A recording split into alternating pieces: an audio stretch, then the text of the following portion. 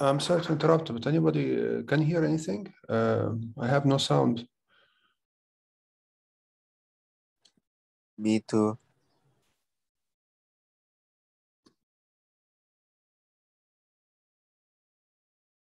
This meeting is being recorded. Okay, very good. Uh, yeah, so the main theme is complex structures that maintain their integrity in the presence of random fluctuations.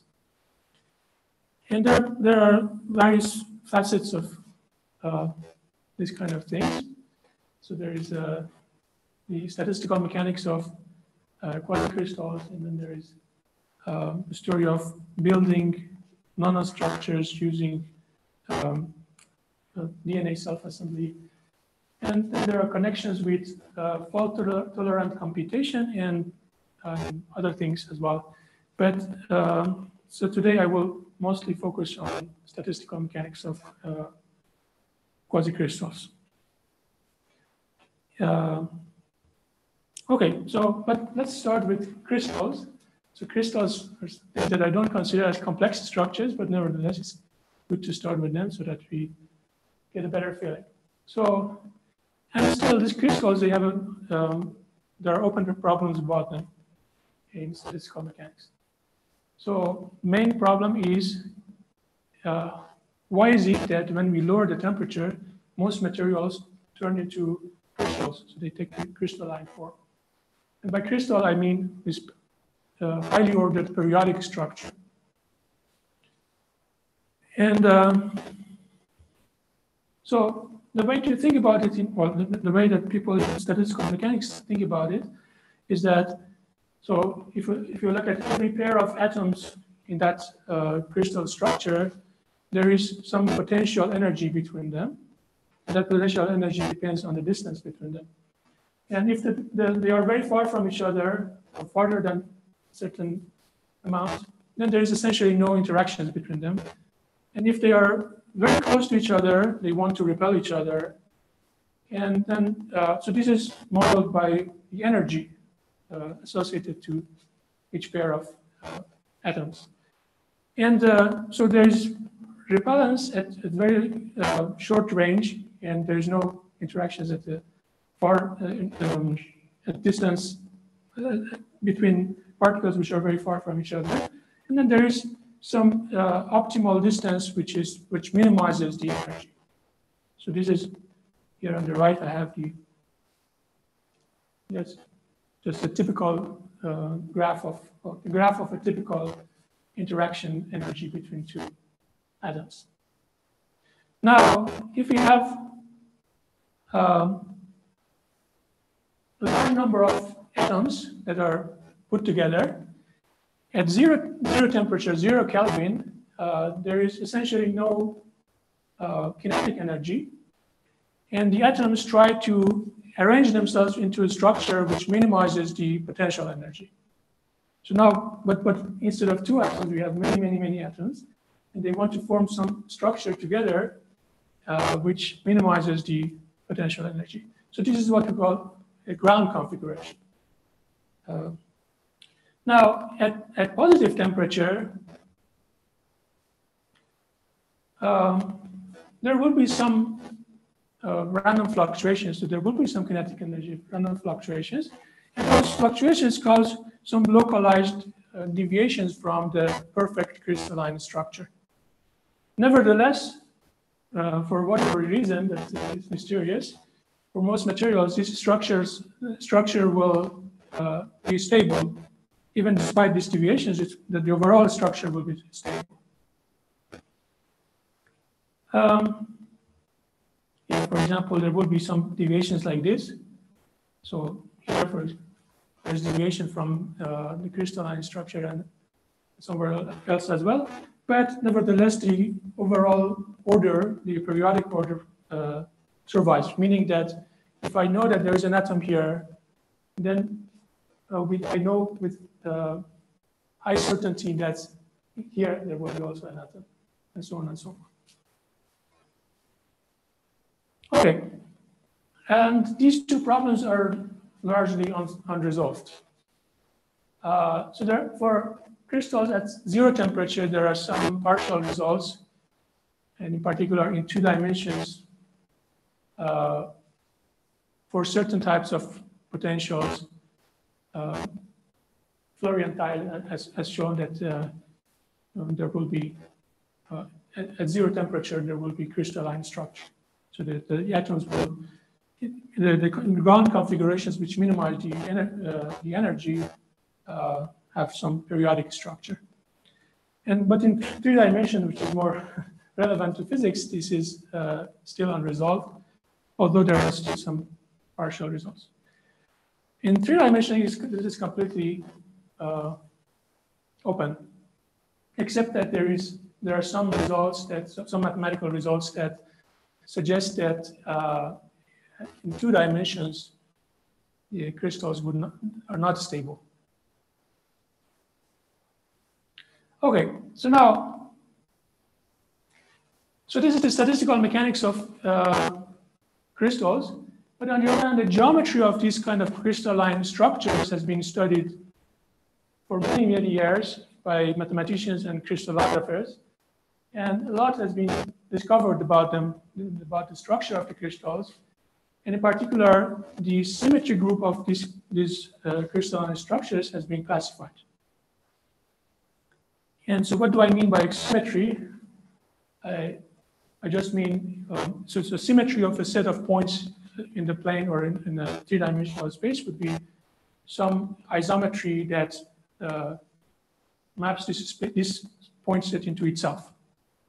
And for example, the translational symmetry would be that so, so crystals have translational symmetries. For example, if I have this crystal, then there are certain directions that if I shift uh, this structure, I get something which is which coincides with, with the original structure. And uh, so in this particular example, this uh, there, there's also rotational symmetry. So if I rotate this structure by uh, 60 degrees, then I get another structure which coincides with the original structure. These are this is the rotational symmetry of the um, the arrangement of atoms. Of course, the, the real crystals in, are in three dimensions, but I, I'm depicting them just for simplicity in two dimensions. Um, now, the, the, the, collection of all symmetries of a crystal form a group. And uh, by definition, well, almost by definition, uh, when we talk about a crystal, we mean the structure of atoms or, or an, an arrangement of atoms which is fully periodic. In other words, there will be a lattice of translational symmetries. So for example, here there are two, so this is a two-dimensional case. But uh, so there are two uh, independent vectors along which we have translational symmetries. And then any product of these two uh, translations will also be a symmetry. So that means that we have an entire uh, lattice of symmetry, uh, translational symmetries. So in three dimensions, there would be three-dimensional lattice. Now, the, the, symmetry groups that include a three-dimensional three-dimensional lattice have been classified completely, and uh, in particular, uh, this well-known thing uh, among uh, crystallographers is that uh, most of rotational symmetries are not consistent with translational symmetries. In particular, if you have, a, if you have an arrangement of atoms or a point in the three-dimensional space or two-dimensional space, which is uh, which has uh, which is fully periodic, so it, means that it has three-dimensional lattice as a uh, subgroup of symmetries. Uh, um, then it cannot have, for example, um, five-fold translation uh, rotational symmetry. So the only rotational symmetries that it can have are uh, two-fold symmetry, three-fold symmetry, four-fold symmetry, and six-fold symmetry, rotational symmetries. This is very interesting. Um, okay, now, at some point in 1980s, uh, Shechtman, who was a, who was a crystallographer, uh, was studying certain alloy under the uh, electron microscope, and in particular the, the diffraction pattern of this particular atom, and noticed that the diffraction pattern, which looked like something like this, this is not for that particular uh, alloy, but a different one, similar one. Notice that that diffraction pattern has five-fold rotational symmetry. Uh, at the same time, it has this uh, um, very sharp peaks. These are called Bragg peaks that are uh, characteristics of crystals. So if you look at the crystal under electron microscope, the diffraction patterns have these sharp peaks. These are, for, for a long time, uh, crystallographers define the crystal as having sharp peaks uh, in the diffraction patterns. So we noticed sharp peaks, but at the same time, the, the, the diffraction pattern is uh, has fivefold rotational symmetry. Now, as uh, Sherlock Holmes would tell you, that if uh, you eliminate all the impossibles, whatever remains is, uh, no matter how improbable, should be the, what is the truth. truth. And uh, so that suggests that this particular material, the arrangement of atoms in this particular ma material, uh, is still highly ordered because it has sharp peaks. And at the same time, it, it is not, it doesn't have trans, uh, translational order. So it doesn't have translational uh, symmetry. So it's non-periodic, but still highly ordered. So this is what I call a complex structure for a reason that I am going to tell you in a few minutes. Few minutes. Um, okay, now uh, now the question is the, the statistical mechanics of quasicrystals.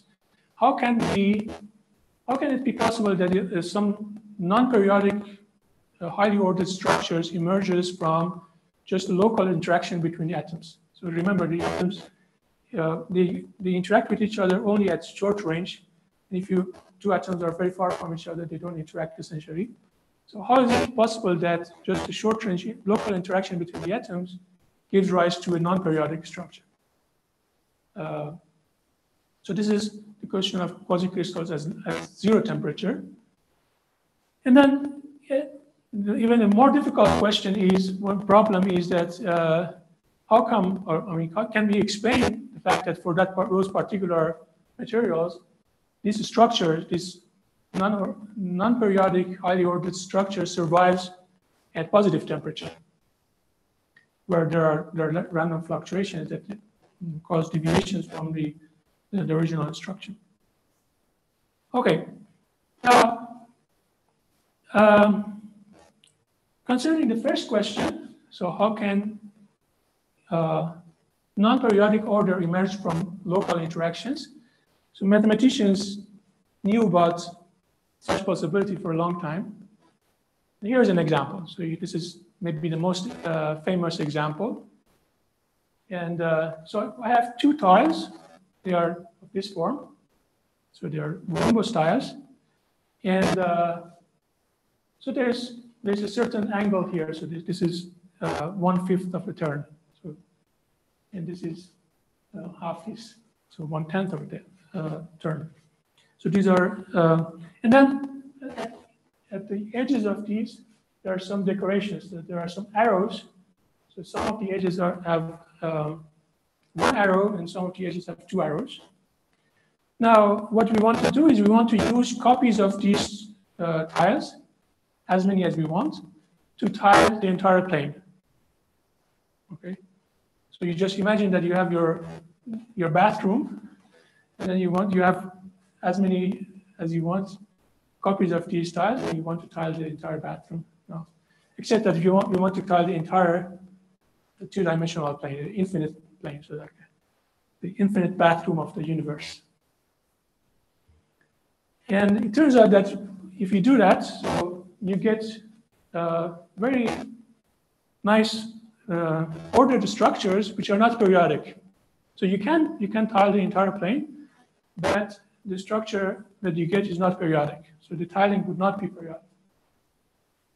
And in fact, in this particular example, there will be, there, there is five-fold symmetry. So, or at least there are some tilings that have five-fold symmetry. So this is just a portion of the tiling. So the, the real tiling is, uh, is a tiling of the entire two-dimensional plane. Here's another example. So this was discovered by Richard Ammann, uh, which as far as I know, he was, he is or he was, was uh, uh, not a professional mathematician, but just was playing with this as a hobby. So, so here we have two tiles. They are they have this form, so they are L-shaped, and there is certain ratio. So there's there's um, for example, this this length to this length is the golden ratio, and so on and so forth. And you see that there are some decorations. Now we want to, again, use copies of these tiles to tile the entire plane, but in such a way that uh, these decorations match. So they have to match each. When you put them next to each other, they have to match.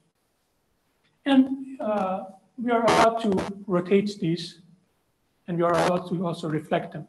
So in principle, there are maybe four of them instead of two. Now, an interesting property of these, these two tiles is that we can combine them to get uh, larger copies of the same tiles, essentially, the larger uh, super tiles, which behave exactly like the original tiles.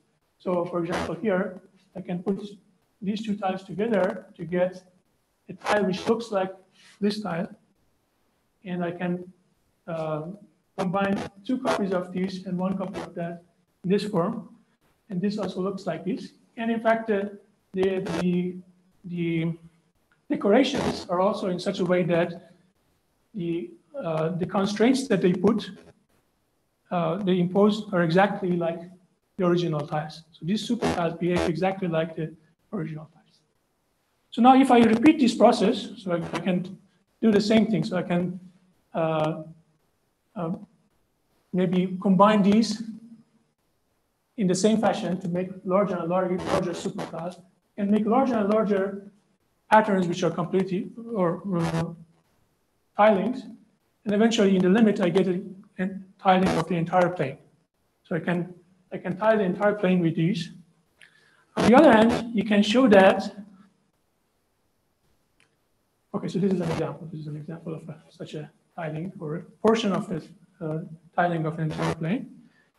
But uh, so another property is that uh, no matter what tiling you start with, there is a unique way that you can decompose these tile, the, the, the tiles into super tiles. For example, uh, here I have a copy of the super tile, which represents the in the first tile, the super tile that corresponds to the smaller tile. And you can, wherever you look, you will be able to recognize exactly where you have which of the super tiles. And that's that, using that, you can uh, show rather easily that uh, whatever tiling that you have, it cannot be periodic. So this is something that you can think about and convince yourself that this property implies that none, none of the tilings can be periodic. Here's another example. This is more uh, combinatorial, it's completely discrete. So we have uh, squares of the same size. So the tiles are just square tiles. And the decorations are just colors at the edges. So each edge has a color. And uh, so this time we don't allow rotations and reflections. They have to be exactly in this direction. And uh, we want to tile again the entire plane. And in the, again, uh, when we put two tiles next to each other, the decoration should match. That means that the colors of the touching um, edges should be the same. Uh, so again, this example is a, is a non is an aperiodic tile. Uh, so that means that you can tile the entire plane, but uh, none of the valid tilings are periodic. So now the, the interesting thing about this is that they're, they're completely discrete, so you can just, well, they automatically impose a lattice structure. So we can just think about them as assignments of tiles to integer lattice points. So instead of having a pro- um, problem in uh, two-dimensional Euclidean plane, I have I have a problem about uh, arrangement of tiles in the, on a lattice. So it would be completely discrete. Now, there are many, many examples of this form that people have dis- discovered over the years. So the earliest one is by Berger from 1966, and I will talk about it in a moment with further. And uh, there are various different examples of different uh, levels of generality. Some of them are really general constructions of this kind of tile sets. And this is a really active uh, research area. Now, back to the question of, well, not the question, the, the, the claim that I, well, the thing that I mentioned that aperiodicity has something to do with complexity. So I want to give you some evidence. And why do I say that complexity really is where we have non-periodicity? So one thing is that many of these uh, aperiodic tile sets that people have discovered, they have a self-similar structure like the one that I showed you. So the uh, Ammann's tiles, uh, tiles. And uh, so either, but this can be either implicit or explicit. Um, and in fact, so, so this kind of, so you, you can think of this as a substitution. So whenever I have uh, such a pattern, I can substitute it with these two. And whenever I have this pattern, I can substitute it with these two. And if I repeat this substitution, so that means that, for example, here, again, I, I replace this with these two and re- replace this with rotated version of this and so, so on and so forth. This would be one way to, uh, if I repeat this substitution over and over, I get the tiling of the entire plane. And uh, now, uh, it turns out that if you, the, the general, for general, uh, general class of substitutions, which I am not defining here, but you can imagine, you can, you can construct tile sets that uh, enforce those substitutions. So essentially, any substitution can be enforced by uh, local constraints in, in this fashion. So the other uh, reason behind the, what I said about complexity is that is the connection with computability. Now consider this problem. This is a very natural problem. So let's say I give you a collection of tiles. These, these uh, discrete tiles, these are called Wang tiles. Uh, so let's say I have, I, I'm giving you a collection of Wang tiles, a finite number of Wang tiles. And I ask you, can you use copies of these uh, to tile the entire plane? Okay. This is a valid question. And uh, now, Hao Wang, who, who, was a logician, is wondering whether there's a general method to answer this question, in particular, whether there's an algorithm. It, well, the, the tile set is very discrete, so I can, you can give it to a computer, uh, you can give it, have a nice description of it and give it to a computer. So you can imagine, in principle, that there would be an algorithm that solves this problem. So whenever you give it a collection of Wang tiles, it tells you whether it is possible to tile the entire plane or not. And uh, yeah, so Hao Wang asked whether there is such an such an algorithm, and he observed that there is a connection between this problem and, and aperiodicity. And in particular, if uh, so, whether there is such an algorithm or not has to do with whether there exists some tile set for which we can tile the entire plane, but not in a periodic way. And this led to the discovery of the first uh, aperiodic uh, tile set. So Berger, who was a student of Wang, was working on this and discovered that uh, there is indeed, uh, there are indeed some um, collection of Wang tiles, which are aperiodic, that they can, they can tile the entire plane, but not in a periodic way. And then uh, and, uh, use this construction to show that, in fact, this the algorithmic problem is undecidable. That means that there is no way to construct an algorithm that um, answers this question for all possible inputs.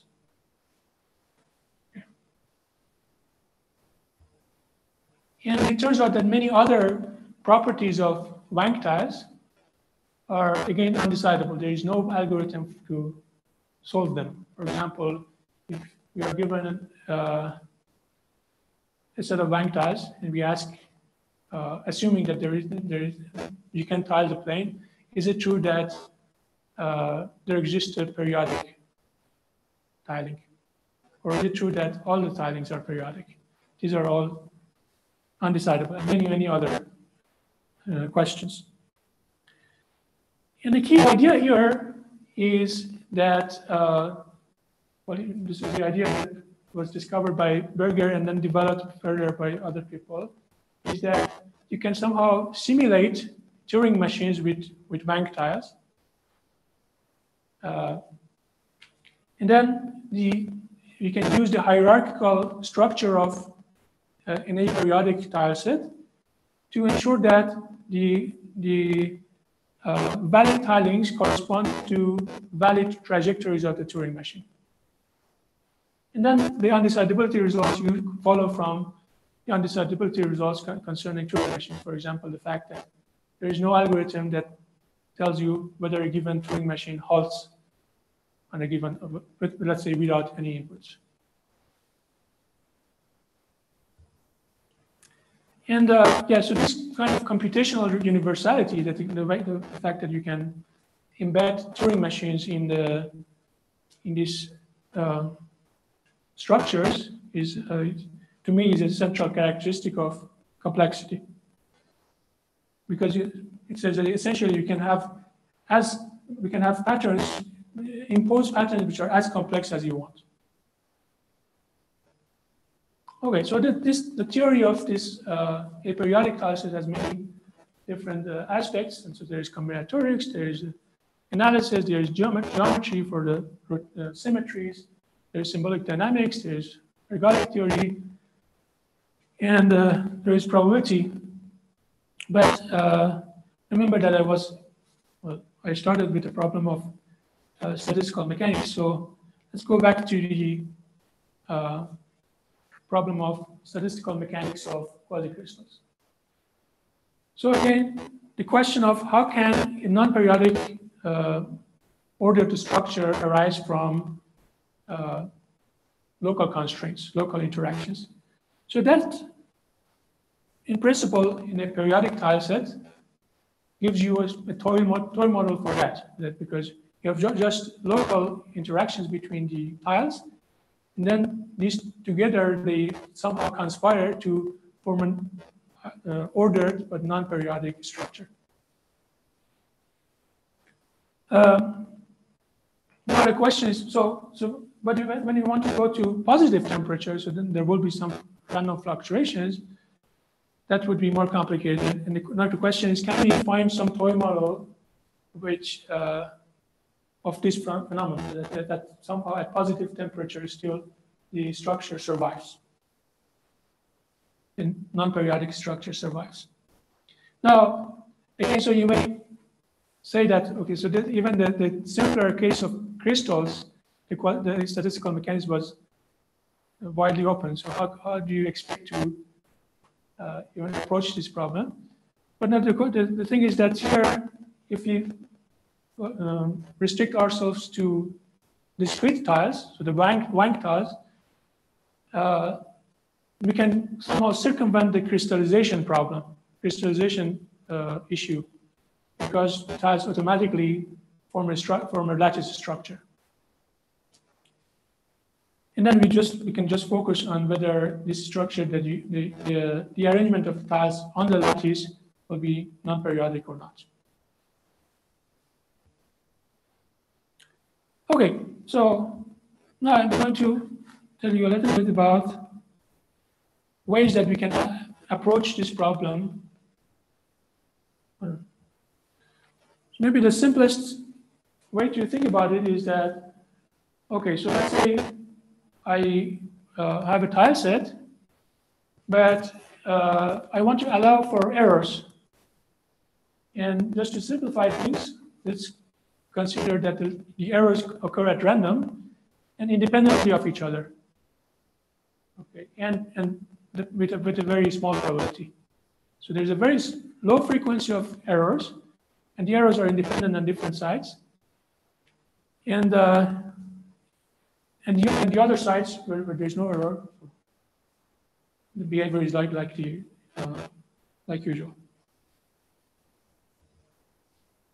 Now the question is, will the overall structure survive if we have these random uh, um, errors, independent random errors? In other words, if we have a faulty, if we, uh, if you have a faulty tiling in this fashion, so the faults are independent, occur independently, uh, will that tiling be close in some sense or another to a valid tiling?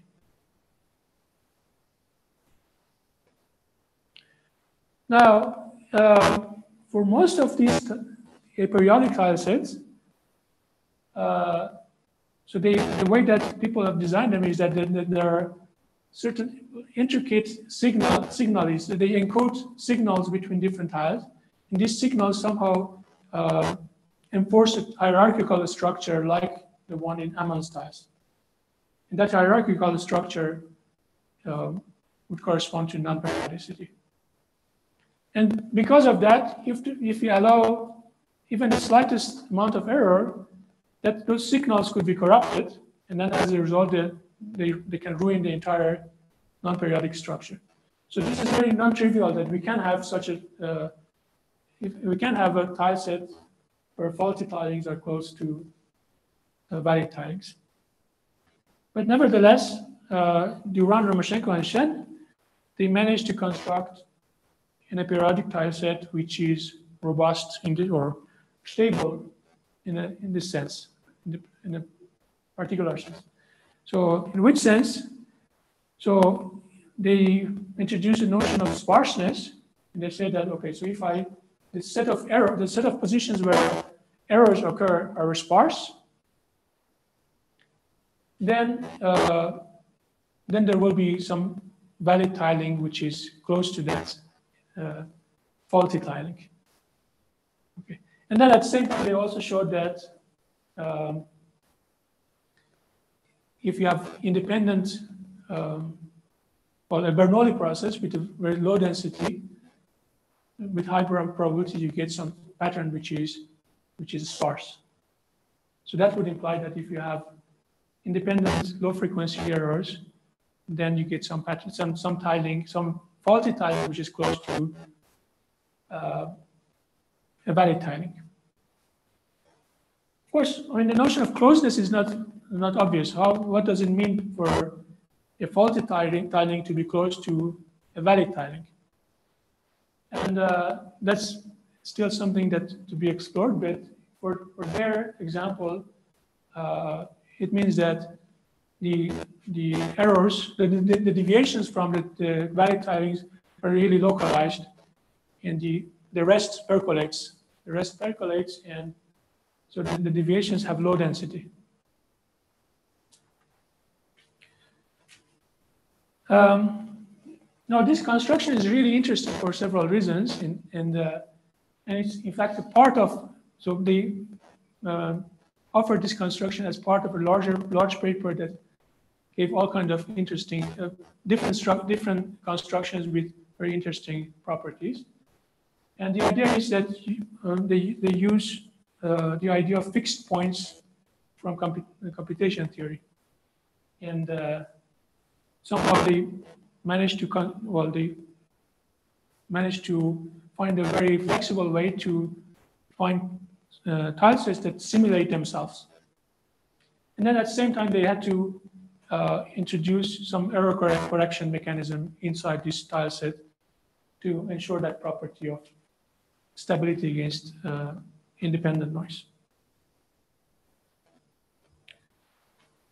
then there's a more recent work by uh, Leo and Matthias Sablik that they showed that even a variant of Robinson tile set, Robinson tile set is one of the first examples of uh, aperiodic tile sets, which is very widely studied and it's quite simple. They showed that a variant of uh, that tile set has some sort of stability already.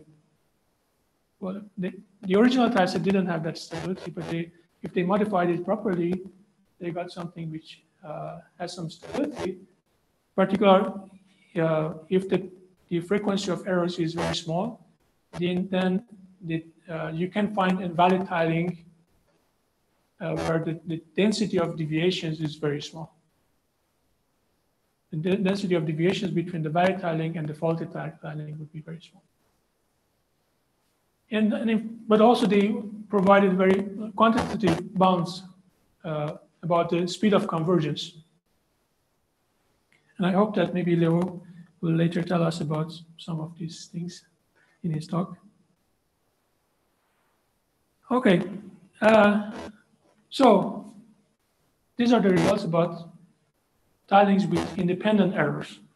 But uh, so at low temperature, the ther- thermal fluctuations are not independent.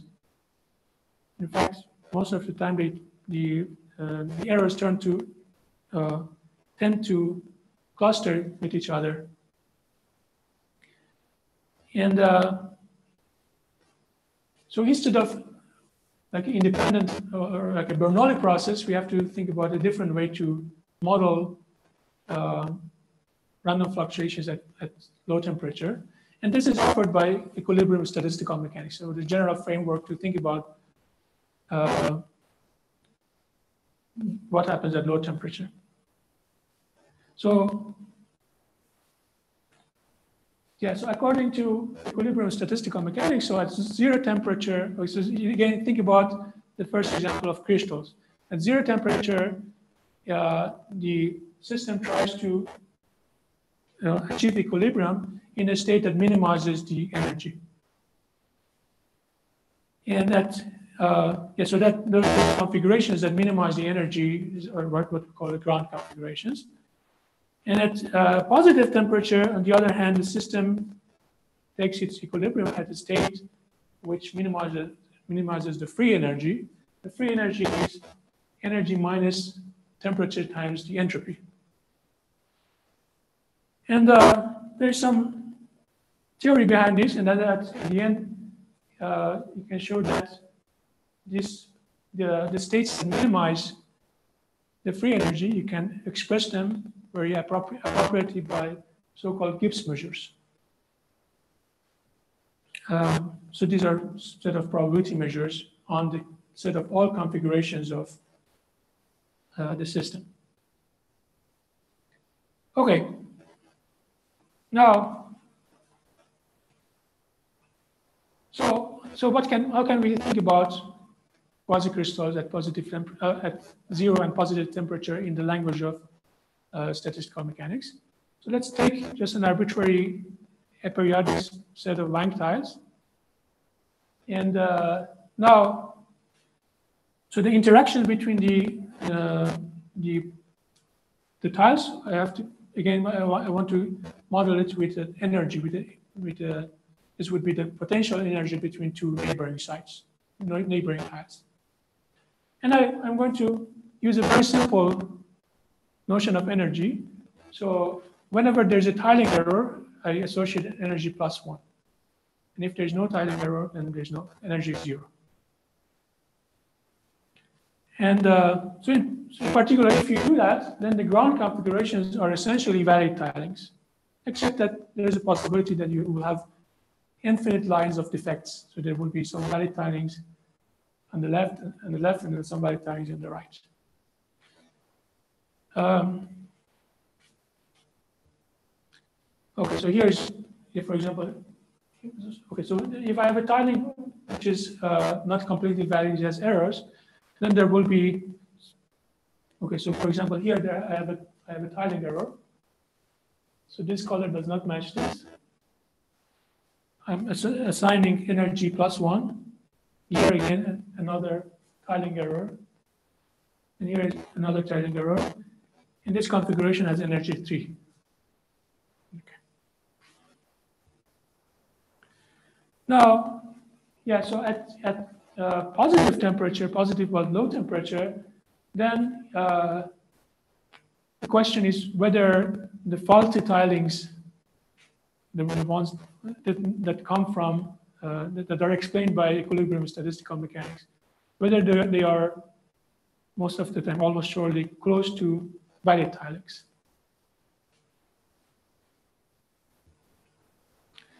And well, as you can imagine, the, the, the answer is that most of the time, no. And uh, but on the other hand, so this was very simple example, and I just I didn't do anything. So it can be it's just possible that, or it's imaginable that if I use a proper tile set and perhaps a more intricate notion of energy, interaction energy between tiles, then then you would get some uh, um, tilings which are stable.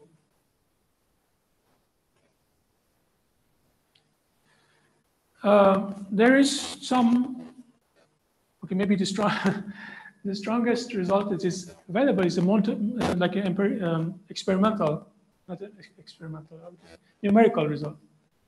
Uh, so the Monte Carlo simulations uh, that uh, Aristoff and Radin have, have done shows that uh, this particular tile set, this is one of the tile sets which was discovered by Richard Emmott. Not not the original tile set that I showed you, but a different tile set. Uh, so this particular tile set, it seems that it is stable at positive temperature. Yeah, so nice, very remarkable property of this tile set. For some reason I have I've rotated the tiles. Uh, so the remarkable property of this is that it, it has determinism in two directions. In particular, if I know the, the color of the two top triangles, two top edges, then the tile is uniquely determined. For example, there is only one tile which has light blue on the left and, and dark blue on the right. And likewise, it is also deterministic from below. So uh, given the, the colors at the bottom two edges, there's only one, well, there's at, at, at most one tile which has that property which, which, which is present in this. Uh, well, there's at most one tile which has those prescribed uh, colors. Okay, so let me also mention some mathematical results, which are very incomplete. So there is uh, old construction by Van Enter, and Zahradnik which is not based on aperiodic tile sets, but it has very similar ideas. Uh, so the, the interaction in their model is not local. So the interaction that I showed you was just that neighboring sites have positive energy and then other uh, tiles do not, tiles which are far from each other, they do not interact. Whereas in their example, the, the interaction is infinite range, but exponentially decaying. So even the tiles which are, or positions which are very far each from each other, they interact. But the, the farther that they get, the interaction is weaker and weaker. And they, uh, yeah, so they showed that, so they constructed such a model and they showed that it has uh, some sort of quasi-crystal behavior at low temperature. In particular, uh, if you know about Thue-Morse sequence, so it, uh, it enforces the Thue-Morse sequence along one of the three dimensions. So this is a three-dimensional model. So it enforces uh, Thue-Morse sequence. And uh, it, they use the other two dimensions just for repetition, just to stabilize this Thue-Morse sequence. So essentially, a ground configuration of this model is Thue-Morse sequence in one direction, and then along the, two, the other two dimensions, we have repetition. So it's a very hardcore, uh, very um, inefficient error correction mechanism. So you repeat every symbol infinitely many times. Then there's another construction, which is even funnier, that uh, it's four dimensional, and it is based on uh, the Ammann's tiles, so the 16 tiles that I showed you. So, but this is four dimensional. Again, it has the same property, same, same idea that it uses two of the two uh, extra dimensions. So in two dimensions, it enforces uh, Ammann's tilings, and the, the other two directions is just repetition. And uh, so for this construction, this is very unexpectedly, it is it's based on some connections with uh, cellular automata, the theory of cellular automata, and in particular, fault-tolerant computation. So this, I, the, the ideas of um, survival of um, the structure in the presence of random fluctuations is very closely related to the problem of how we can do computation if the components of the uh, your computer are, are, noisy. And there are some results about this fault-tolerant computation in the setting of cellular automata that can be translated essentially or can be used along with Ammann's tile set to get this four-dimensional model. Okay, um, but the, the general question is very wide open. So I think I want to uh, stop, but so let me just mention that this was this is just one facet of uh, of this the question of tilings in the presence of errors. And uh, so one, so you let me just uh, do a bit of daydreaming. So if you have, let's say we which somehow managed to solve this problem of quasi, uh, quasi-crystals at positive temperatures. In particular, we, we find uh, uh, in a periodic tile set which is stable at positive temperature. Then perhaps we can, we can use this to construct uh, tiles at, at nanoscale that behave that in that particular way, and then use them to uh, construct structures. And so I say that this is daydreaming, but in fact, this has been studied. So, so there are some people who uh, uh do in, in a laboratory try to construct uh, Wang tiles using uh, DNA, DNA, and uh, and then they have they have observed so there, there, are papers about it that you can see that uh, but that they these uh, tiles they match each other and, and then they form some structure. But the main problem there is that they don't these structures do not scale. That means that uh, very quickly they, you lose everything to uh, random fluctuations.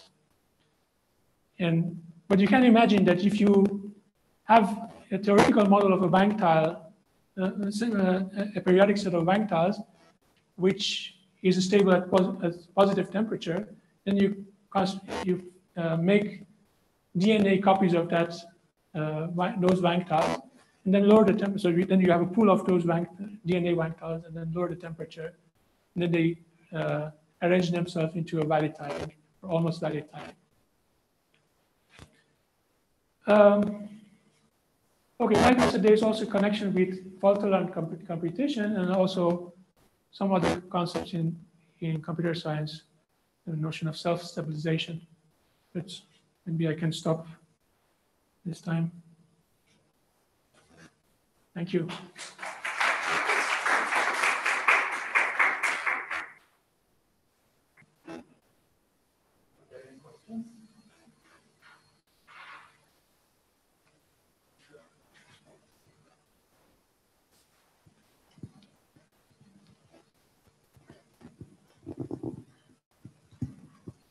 Um, hi. Hi. My name is Andre. I'm a grad student of physics. I think I'm gonna yell. All right. This is making too much. Oh no, I think it's fine now. All right.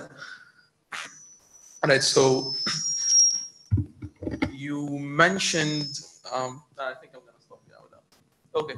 So you mentioned equilibrium statistical mechanics as a starting point, and then you started talking about uh, some of the faulty tilings, and you stopped short of um, mentioning glassy states, which are very much similar to these uh, faulty tilings. And is that is that me pushing the analogy too much, or is that a valid analogy in that case?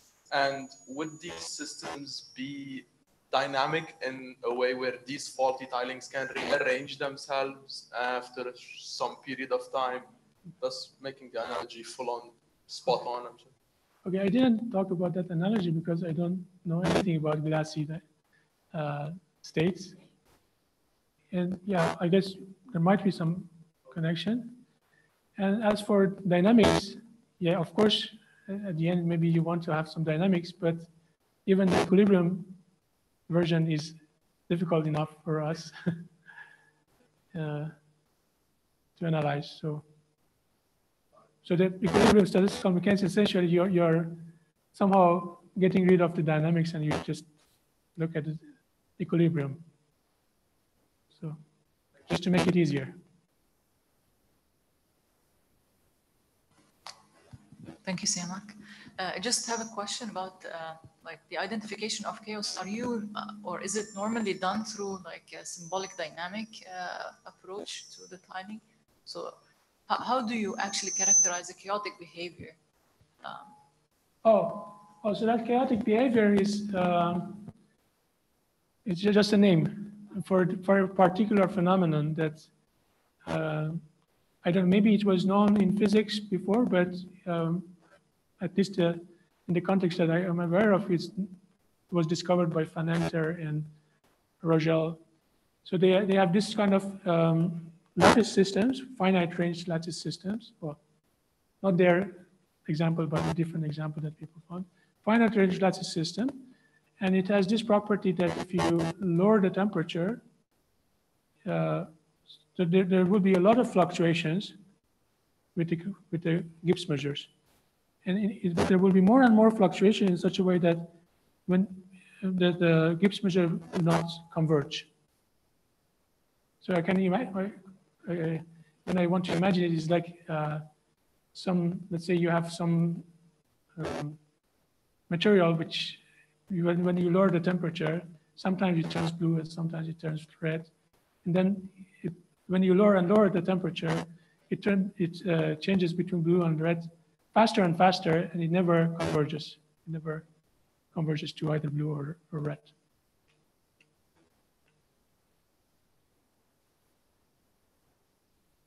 I have a question.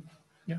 So um, it seems that you can define a different type of energy from, I mean, even fixing the type of tilings, you can define different energy. Yeah. Uh, so how, how do people proceed here? I mean, they, how, how, what's, how the research is going into that in the sense, I mean, just you define energy based on what? On, on similarities with other kind of systems or? Well, I mean, this, this, uh, what was it? Yes, this, this is the simplest that you can imagine. And uh, yeah, essentially there's no general guideline. Um, for this example that um, so but for this example, I don't know because it, it's not even based on uh, aperiodic tile set. But for this example, that energy comes from the connection with probabilistic cellular automata. And that comes very naturally. So it turns out that there is a connection between, so if you have a probabilistic cellular automaton, then the space-time diagram of that probabilistic cellular automaton has a Gibbs distribution. And uh, and that the, the energy that corresponds to that Gibbs distribution comes directly from the um, law of that probabilistic automaton.